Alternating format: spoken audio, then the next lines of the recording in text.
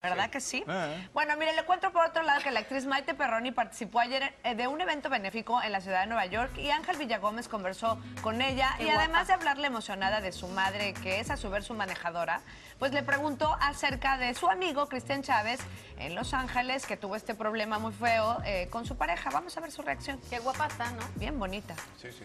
Mi mamá y yo tenemos una relación muy cercana. Mi mamá es mi mejor amiga y la mujer más importante de mi vida. Y afortunadamente he crecido bajo su educación, bajo sus consejos, bajo su amor y bajo su cobijo. Pero es para mí un honor cada día poder mirarla a los ojos y poder saber que a través de ella encuentro paz. ¿Cuándo Maite se podrá ver como en esa etapa de mamá?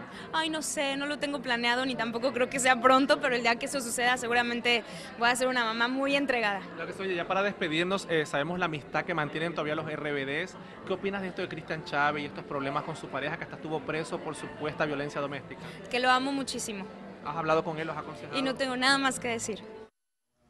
Muy, du- muy discreta y muy prudente. de Lo que amo y lo lo quiero muchísimo y no que me meto en nada. Maite, Ahora, Maite siempre ha sido la más discreta, yo creo que de todas y cada ellos tienen una relación muy cercana. Cada vez que le preguntan por algún asunto que ha tenido Cristian, siempre ha sido, lo apoya mucho, pero ha sido muy parca en hablar. pero ¿sabes qué? Ella es discreta y Villagómez es metiche en todas partes. Bueno, es su trabajo. Oigan, le recordamos que este